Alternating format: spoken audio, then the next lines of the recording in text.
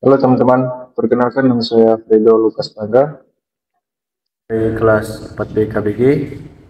Saat ini saya akan mempresentasikan tentang entrepreneurship, yaitu mengidentifikasi dan menilai peluang bisnis.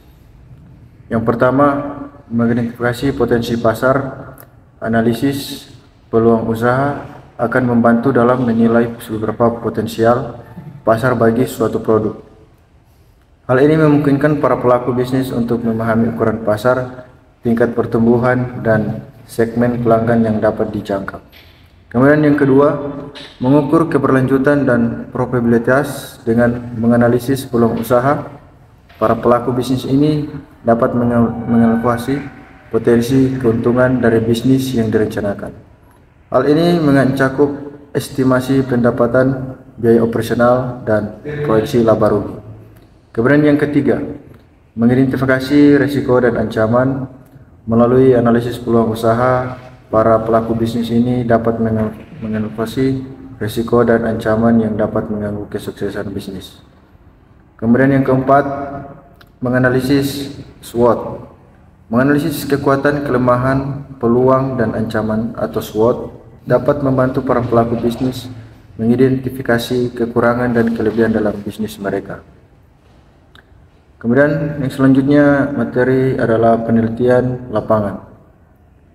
Penelitian lapangan atau field research adalah jenis penelitian yang melibatkan pengumpulan data dan informasi secara langsung di lingkungan alaminya.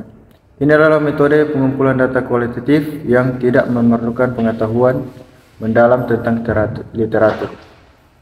Penelitian lapangan dapat dilakukan dengan metode kualitatif seperti wawancara, pematahan, dan pemantauan serta metode kuantitatif seperti angket atau survei.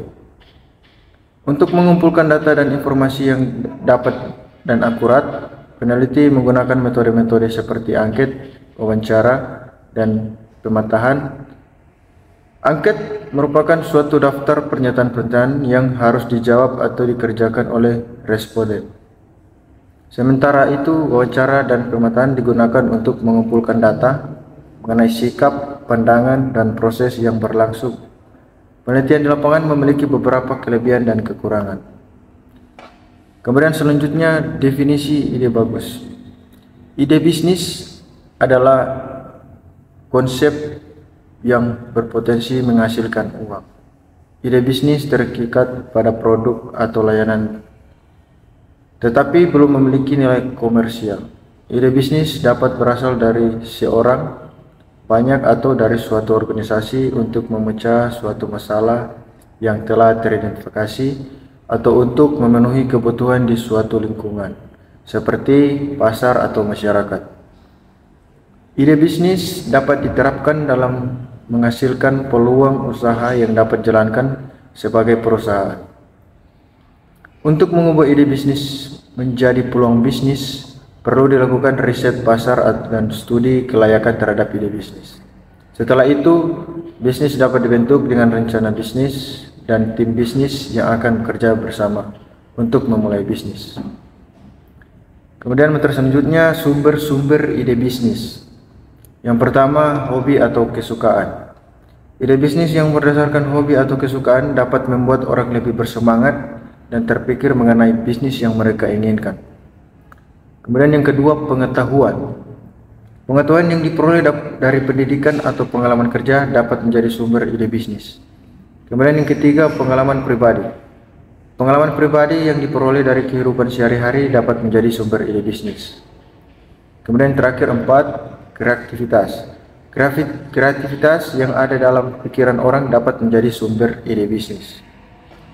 Materi selanjutnya membangun ide bisnis. Membangun ide bisnis adalah penting karena ide bisnis adalah akar dari peluang usaha yang akan dibangun. Ide bisnis merupakan gagasan yang dapat menjadi peluang untuk memenuhi kebutuhan yang real di pasar dan juga menjadi peluang usaha. Ide bisnis dapat berasal dari berbagai sumber, seperti hobi, keterampilan, atau keahlian, pengamatan, pengalaman kerja, kesuksesan, atau kegagalan bisnis. Kegagalan bisnis yang dijalani orang lain dan lain-lain. Membangun ide bisnis dapat membantu pengusaha mengalami bisnis yang lebih jelas dan spesifik. Ide bisnis juga dapat membantu pengusaha memahami lebih baik tentang pasar, target pemasaran, dan kompetitor. Kemudian, selanjutnya, menyaring ide dari hasil identifikasi.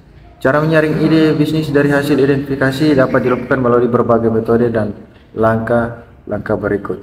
Langkah pertama, mengidentifikasi ide bisnis yang sesuai dengan minat dan hobi. Ide bisnis yang sesuai dengan minat dan hobi Pemilik bisnis dapat membuat usaha lebih berkesan dan menyenangkan. Kemudian langkah kedua, menganalisis pasar. Ide bisnis yang sesuai dengan kebutuhan pasar dan tren dapat membuat usaha lebih berkesan. Kemudian langkah ketiga, menghasilkan kompetitor.